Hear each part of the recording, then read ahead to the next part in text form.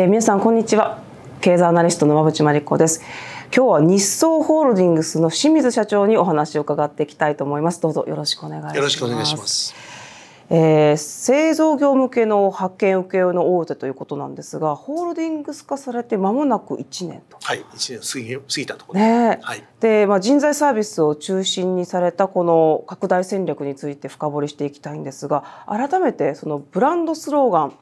働き者を幸せにっていういいなと思って今日ホームページ見ながらここ来ましたけれども素敵なねスローガンですよね。そうですね。あの、うん、やはりあの働き方に寄り添って仕事を進めていくという当社のスタンスとしてはぴったりじゃないかと。そうですよね。はい、そして特にね今日本では人材を大切にしましょうっていうね大きな大きな大事なテーマがありますので、はい、そこにそうまあがっちりど真ん中かなというふうに思ってます。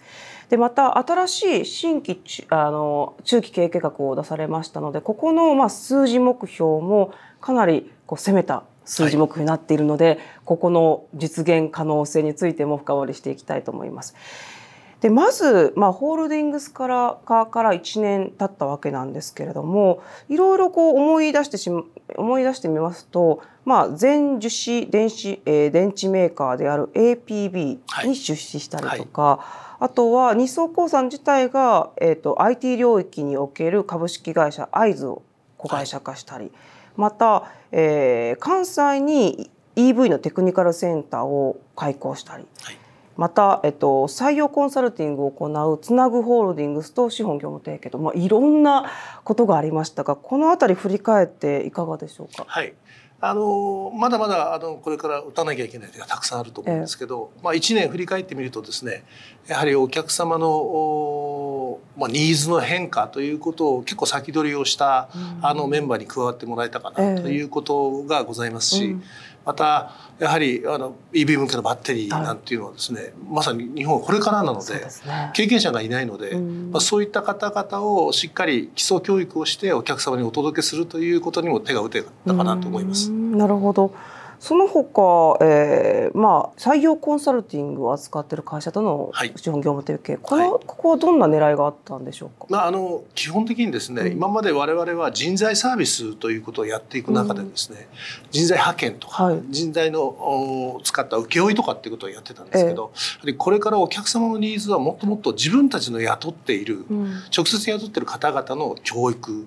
あるいはあ人事管理とかですね、えー、そういったことももっと強化していかなきゃいけないですし。なるほど。ほど特にやはりこれからは人手不足の一つの流れの中で外国人も、あ大手企業も使っていかなきゃいけないって言った時に、それは工場の従来の人事機能の体制だけでは対応できないということがありますので、ですから入り口の人の採用から、はい、それからあ教育訓練それから人事マネジメントそういったこともお手伝いできる会社にということでそういったところと組んだと、えー、まあ、一気通貫で見れるように、はい、たくさん、まあ、手を組んでいくという形を取られたということですね。で実際まあ新しい中期経営計画のまあ数値目標を見ますと売上高2028年に1500億円、はい、それから営業利益75億円という数字が出てますがこれ今25年着地のところの数字から見ると1.4倍ぐらいで売り上げを高めていき、はい、そして利益は1.9倍約まあ2倍ぐらいまで上げていくとなると、3年でこれを達成していくとなると、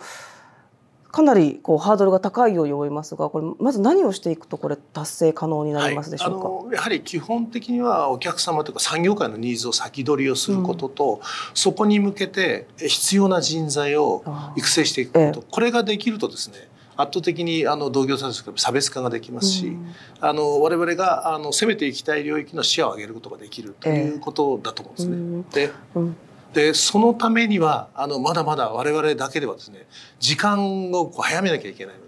まあ、M&A 戦略含めて、い、ろいろなところを今考えてらっしゃると。はい。今顧客のこうニーズを先取りするっておっしゃいましたけれども、はい、具体的にこうどういうものが挙げられますか？今現場をご覧になっていて。はいまず一つはですねもう製造業っていうのはもう慢性的人手不足というふうに言われてますので、はい、えー、特に大手メーカーああるいは新しい工場というのは実は精進化とか無人化がかなり進んでいる工場があるので、えー、そうなりますと従来のオペレーターとかあるいは自動車ラインにいる組み付け工のような方々のニーズはこれからだんだん右肩下がりになってですね。逆に言うと装置を上手にマネジメントする装置保全、あるいは装置エンジニア、あるいはこれからはロボットのメンテナンスができるような人材、えー、そういった人たちのニーズが増えるのも間違いないので、うん、そこにどう我々があの人材をご提供できるかということが非常に重要になります。まあ、機械を使いこなす人材と、はい、それ機械もそれぞれあの分野によって違いますよね。はい、そこをベースから教育していくということが重要になってくる。そうですね。あのまあそうは言いながら基本的にはですね。機械の素養と電気の素養と昨今は AI とか実装されてますから、うん、そういったことの基礎が分かっていると実は応用範囲がかなり広いということは経験則上分かってますので、うん、そういった人材をしっかり育成していこうというふうに考えてます。御社ではまず基礎を教えていくということになりつつも、はい、それだけではこう人材の数が足りないので、はい、M&A をしていくと。はいじゃあ M&A を考える先っていうのはどういう分野の方々がイメージになりますか、はい、あのまあ、今も専門メーカーというか専門の人材会社では多分ないと思うんですけど、えー、そういった設備の保全とかに特化しているような会社あるいは、え。ー、あの装置を提供している先のフィールドサービスって言って、うん、あのフィールドエンジニアのフィールドエンジニア。いわゆる装置が止まった時にリカバリーしに行く人とかっていうサービスがあったりするんですけど、そういった会社と、まあ、これ買収とは限らないんですけどあの連携しながら我々が育成した人たちの活躍の場をどんどん作っていくことによってスキルが上がってくるということになりますかね。そういった方はだから御社とこうつながりがないがゆえに、はい、あまり活躍できていないというかあのこうそうですね働きに行ける場所のチャンスがなかったりする可能性があります。あるんです、ね、またあのそういった技術は非常に持ってるんですけど人材を確保することが難しい会社がたくさんあってあの技術は優れてるけどスケールしないといいますか。そういった会社と力を合わせてやっぱりスケールをしないとあのこれからどんどんそういったあ新しいテクノロジーが現場にどんどん入ってきますから。お客さんのお役に立てないんじゃないかと考えてもったいないですね。やっぱ目詰まりが至る所で起きているので、はい、そこに御社がいろんなところに入っていくことによってこう風穴を開けてどんどんどんどんこう日本全体にこう人材を回していくと。はい。そういうイメージですね。ですからちょっと一つここで申し上げておきたいのは、うん。はい、なんとなく人手不足の話ばっかりが世の中で言われてるんですけど、はいえ大きな問題はむしろそれよりもですねミスマッチの問題の方が大きいと思うんですね。ですから、まあ、10年後190万人ぐらい人が足らなくなると言われてるんですけど、その190万人にで住むようにするためには今あの活躍されてること方々が新しい時代の時に活躍できるということが前提なんです。でもしそれがリスキリングとこ最近言われますけど、はい、できないと190万人では足らないはずなんです、ね、えー、そういうことですね、はい、ちゃんと技術を身につけて、はい、まあ 5, 人でやっていたものが2人でできるような技術力をそれぞれ身につけていくと。はい。はいまあ、すごく重要な部分ですよね。で実際あのさまざまな研修センターも作られていて、はい、これ特に関西のところでテクニカルセンターを立ち上げられました、はい、これどんなことを教える場所なんでしょう？そうですね。まさにこれから2026年の後半ぐらいからあの立ち上がってくる EV 向けのバッテリーとかですね、はいはい、そういった工場って今までないのであそうなんですね。ハイブリッドで、えー、要するに使ってるバッテリーを作ってる工場はありますが、えー、EV の工場っていうのは本当にごく一部しか今までなかったので、これが2026年からあの全国各地で工場が立ち上がるというふうに言われてますので、えー、そこのあの装置を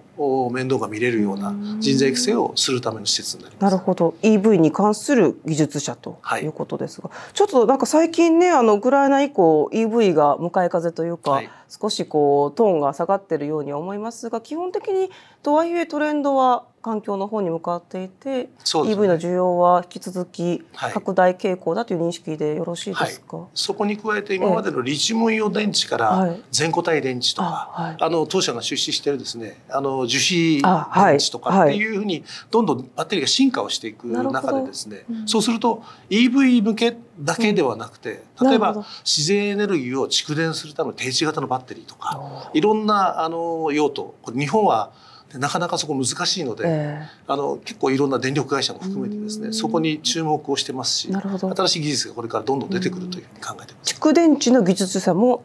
育てていくと、はい、ここめちゃくちゃ大事ですよね。はい。日本はあの本当に化石燃料に頼っていて原発がまだ動いていないのでね。そこの分野にもまあ、はい。関わってくる可能性があるってことですか？もうあの関わるつもりで先回りをして蓄電池メーカー、はあ蓄電池関連はい。というふうに一部言ってもいいようなともうおっしゃる通りです。えー、ここすごく楽しみです。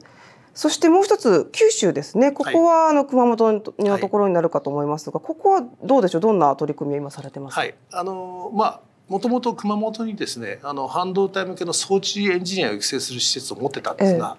あのやはり、えー熊本のおまあ、ジャスムという、ええ。まあ、台湾セミコンの合弁会社の第二工場とかですね、ソニーの第二工場も決まりましたんで。でね。でこの流れからすると九州全体が過去にあったようなシリコンアイランド構想ということで相当半導体向けの人材が必要になってくるので、えその方々を育成するためにあの今回あの熊本第一テクニカルセンターの倍のキャパの、おセンターを今立ち上げましてですねあの年間300人そういったエンジニアを輩出できるようにーえというようなあ形で投資をしたー、年間300人ずつですか？はいはいあ、これすごいスピード感ですね。まあでも足らないんですそれでも。それでも足らないんですね。じゃあそこにどんどんどんどんまあしあの人材を投入していはいくということですね。このあたりはやっぱりそのまああのう受け入れ先の企業様、お客様からどんな評価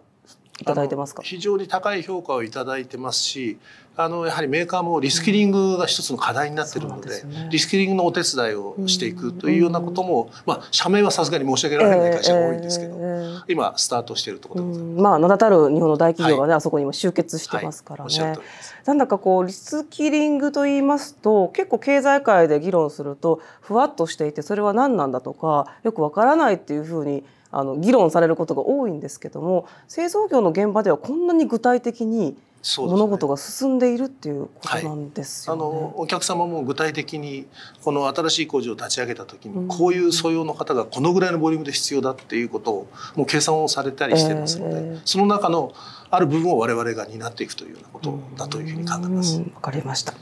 でもう一つ、えー、と先日リリースされた研修受託サービス、日総 HR ディベロップメントサービス、これどういうふうなサービスなんですか、はい、あの先ほども少し触れましたが、うんうん。結局今までは我々のお客様にお届けする派遣社員とか、ええ。請負現場の社員だけ供給してたんですけど、ええお客様から自分たちがその教育の手が回らないといいますか、うん。ということからですねお客様の社員のあの教育のお手伝いをするということで、ええあの今あ社名があの開示できている会社でおそらく10社ぐらいあると思うんですけど、はい。あのまだ社名が開示の許可を得ていないうん。会社も含めるとですね、ええ。今20社ぐらいあそういった大手メーカーと。うん取り組みを始めたところです。えっと10社ぐらいはもう開示されてい。る、具体的にどんなところが例えばあの今社名が変わったですね、えートヨタバッテリーってあ。10月から社名変わったと思うんですけどあ、のもう開示を許されてますしあの協力会社の前であのそういったことを日相とやるんだっていうふうにおー。もう明言されてますんで、まあ、そういった会社であるとか。うん。まあ、比較的バッテリーメーカーとそれから半導体の,、あの記憶者も,、はいはい。もう名前の開示許されてますんで。なるほど、はい。バッテリーと半導体のところ、特に今人人材のところで連携されているということなんですね。ではあの今期の見通しも伺っていきたいんですけれども、まあ、25年の着地増収増益の見通しかと思いますが、この辺りのまあ状況というか角度まず足元の業績はいかがでしょそうですね、うん。あのまあいいいい面と悪い面が少しあるんですけども、体的に。まあ、あの製造の領域の仕事というのは、うん。あの確実にあの量が増えつつあるので、え。今働いている方々の月の稼働時間というのは正常にどんどん近づいてるんですけど、うんうん。本来はあ回復する中でですね新しく人のニーズっていうのがもっと出てきてよかったんではないかと思うんですけど、やっぱりオートモーティブにしてもセミコンダクターにしてもですね思ってたより回復のスピードが遅いかなっていう感じはしてますね。あ遅いんですね、はいはい。ここはなぜなんでしょう？まあ、これはいろんな理由があると思うんですけど米中のお覇権争いのこともありますんでうん。結果的に本来中国に輸出を結構していた例えば半導体の装置メーカーとかも、やっぱり輸出できるものの装置の基準がかなり厳しくなってきているというようなことがあってですね。本来もっと量を作りたいところではあるんですけど、まあ、そういったことが影響しているとかですね。直近ですとねオランダのロコ装置の会社の決算がすごく悪かったとかありますが、はい、ああの辺りはこう御社は影響どうどうですか？将来は可能性があり国内に出てこれる計画があるので今は直接取引をしておりませんのでただあの会社がそのようになってることは、はい、やっぱり他の装置メーカーにも影響が出てないわけではないので。なるほどまあ、一方で台湾の TSMC は好調だったとかこう、ね、半導体の中でもまだムラがあって、ね、少しだけ先の方で何か懸念材料があるかもしれないけれども、はい、タイムラグがありますからそこまでにいろいろ打つ手があるというか、ね、対策はあるということなんですね。はいはい、なので足元では好調だということかと思います。でではこれから、まあ、新しい領域もどんどん拡大していきたいということになりますがここやはり軸は人材関連になるんですはい。まあ、人材関連っていう考え方って実は広いんですね。ええ、確かに。あのいわゆる人材サービス産業協議会っていう、うん、そういう人材5団体が作ってる団体があるんですけど、え、ここはもう我々のような製造系の人材サービスも入ってますが、うん、求人広告とか人材紹介とか、ええそういったところもカテゴライズ一緒になりますので、えー、そうすると我々として、まあ、人材が軸って人材をベースにしながら従来はその人材サービスという形に加えてやはりこれからお客さんの課題を解決するための、まあ、ソリューションのような形でですね、必ずしもあの人の人数がどうとかっていうことではなくてですね、解決するために必要な体制をお客様に提供していくとか、あるいは受託するとか、そういうような形になっていくんじゃないかと思います。まあ、一本こう根底にあるものは IT 先の企業様の課題を解決し、はい、そして、まあ、あの育てている人材の方がこう人生を通して豊かになるってことも大きなテーマなんですよね。はい、そうですね。我々が最もあの重きを置いてるステークホルダー、うん、まあ、本当は投資家って言わなきゃいけないかもしれないですけど、ええ、やはりお客様とそれから何よりも働く方々、労働市場の方々のニーズにしっかり応えていくってことが重要だと判断してまあ、最近はね投資家さんも昔であればね一番は投資家って言ってほしいっていう時代が少し前ありましたけど、はい、まあ、大門 CEO とかもね、はい、もうやっぱり従業員が大事であってで取引先が大事だっていうようになってから結構ステークホルダーの定義も変わってきましたし、ね、こういうふうな発言をしているような企業の方が評価が高くなってきましたからね。では、えっと、中期経営計画新しい、えー、中継のお話を深掘りしていきたいんですけれども改めて、はい、えー、28年3月期売上高1500億円営業利益75億円そして利益率今3.5%のものを5%に高めていくというこれ実際どうやって実現されていきますか？そうですね。やっぱりあの、まあ、人材サービスの考え方というのはやっぱり人の価値にお客様がお金を払うってくださるんで、うん、やっぱり我々としては今働いている方々のもちろんスケールも上がりますけども、うん、やはりその中の構成といいますか従来のオペレーター中心だったところからですねやっぱりその専門職エンジニアを中心とした専門職の方々に商品といいますかラインナップを変えて付加価値を増しながら受注単価が高くなりますから当然本人の処遇も高くなりますけど利益額が大きくなってくるので結果として営業利益のところに来るとそういったことが実現できると利益率が高まると、はい、えー、じゃあそうなりますと、えー、まあ単価は上がる、はい、で賃金も上げられる、はい、その世界が可能、はいすごいことですね、みんなできなくて特に日本国内それ困ってる大きな課題ですがそこをまあ、うん、実現できそうだっていう今イメージを持たれて、まあ、そうですね。あの実現しなければ我々のもっと言ったら存在の意味がないというふうに考えてます。なるほどわかりました。まあそういう形で実際に、えー、やっていかれるわけですけれども、特にこう売上の構成比でも4割を占めていく、まあ自動車のところを強くしていくとか、はい、何か戦略ありますか？はい、はい、あのまあ自動車というのはもう本当に100年に一度の大価格時代というところですね。えーはい、まあ EV もそうですけど EV 以外もあの自動運転とかっていうことに紐づく必要な人材というのはこれからどんどんと変化するでしょうし、でやはりおそらく私の読みでは自動車の最後になると思うんですけど大体来にですねあの組み付けをする方々がずろずろっているんですけど、えええ、おそらくロボットがだいぶそこを代替すると思うんですね。そこは人がいなくなる。いなくなってでそのただしロボットは老朽法にはかからないんですけど、うん、壊れれば動かなくなりますから。確かにやっぱコンディションを整えるためのロボットメンテナンスの人材というのは相当数必要になってくるんだろうなと。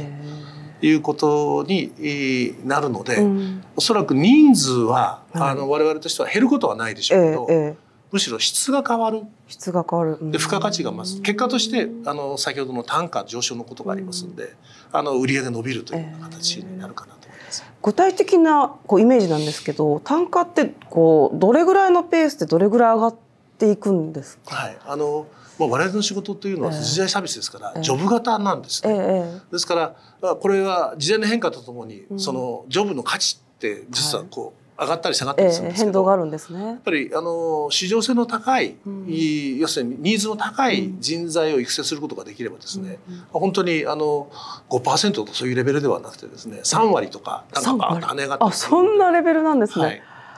あすごい世界ですね、はい、例えばだから AI の人材が足りない、はい、そこをじゃあ早期に見越して、えー、育てれば、はい、もうそこは引く手あまただからこちらが言う側の値段をつけやすいということなんです、ね,、単価交渉の主導権を持てると言いますか。素晴らしすぎますね、そして半導体のところもね、今手がけてらっしゃるかと思いますが、まあ、北海道に今工場立てていくというところもサポートされている、ラピダスもサポートされて、これ具体的にどんなあのサポートをされてます。まああのまあラピダスがこれからやらなきゃいけないための人材育成のお手伝いをするとか、えー、まあ人材サービスがどうなるかはまだ2027年の稼働なので、これからの話になると思いますけど。ね、どちらにしても何らかの形でいろんな方面からお手伝いをさせていただくつもりでおります。で実際あのここからまあ3年間かけてっていう期間はどういう期間になりますか中継の達成までの、はい、この2028年までのこの3年間っていうのはどういう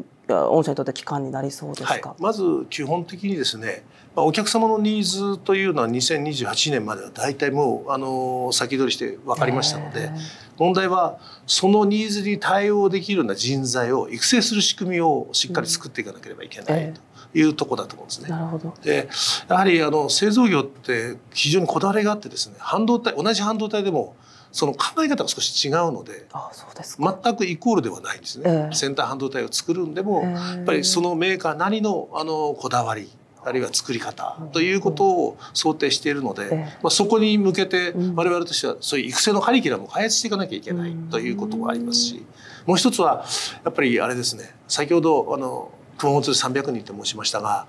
AR とか VR とかああるいはあ MR とかっていう新しいテクノロジーを使ってですね、えー、研修施設に来てなくても研修ができる仕組みというのを同時に作らないと、えー、おそらくお客様のニーズについていけないというふうに考えてるんで、そういった投資を今期来期特に強めていこうと。投資期なんですね、はい、まさにね。でもあの御社はそのメーカーさんごとにアレンジしていくっていうのはもう前からお得意なね、はいあのやり方だと思うのでそこはやっぱ楽しみなところですよね。そうですね。そのためにやっぱりメーカーに信頼を本当にしてもらわないとですね、うんうん、自分たちのその人を作るために必要なノウハウとかって出していただいてますので、えー。うん、そこを我々の研修のカリキュラムの中に入れ込んであの育成をしてお届けするというこの仕組みになってます。先方との連携を密にしながらで、そこに当てていくというか、はい、そういう作業になってくると。はい。まあ、そういった3年間になるのでよりまあその後飛躍が待っているというイメージになりますよね。はいで、えー、と実際に御社例えば ROE なんかももう13%近いですし、はい、一方 PBR は1.7倍。これまあ1倍超えてますけどもこの辺りの資本効率とかはどのようにお考えでしょうか、まあ、これは非常に難しくてですね、えーはい、あの熊本で経験して非常に分かったことは、はい、本本体本来はあまり資産を持ちたくないんですけど、うんうん、ないんですよね、あ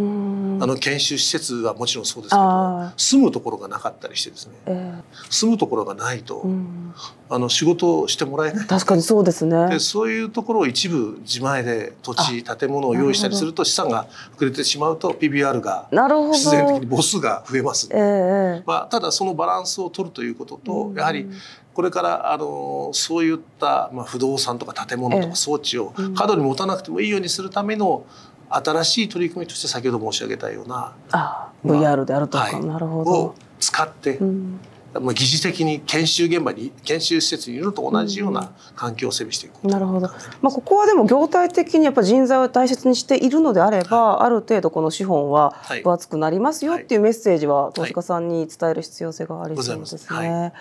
はい、大変えよく理解できました。もしよろしければ最後に投資家の皆様にあのメッセージいただけますでしょうか？そうですね。あの まあ投資家の皆様機関投資家含めてですね非常にあのご心配をおかけしたのはあの残念ながらあ2020年からコロナということがあってですね我々がいろんな形で人的投資をしたことというのがやっぱりリターンとしてなかなか顕在化しなかったということがあると思うんですけどようやくコロナも脱しましたし各産業もですねこれから新しいテクノロジーを使って新しい取り組みをどんどんされていかれるという状況の中ではあの当社の存在価値とかをお客様にも認めてもらえるでしょうし何よりも働いてくれてる方々がですね日ソで自分は働きたいなと思っていただけるやはり労働市場に対するブランドということが非常に大事だと考えてますのでぜひ、えー、ご期待をしていただいてですねあの当社の進捗を見ていただければ大変ありがたいと思います。どうぞよろしくお願いします、えー、清水社長本日はどうもありがとうございました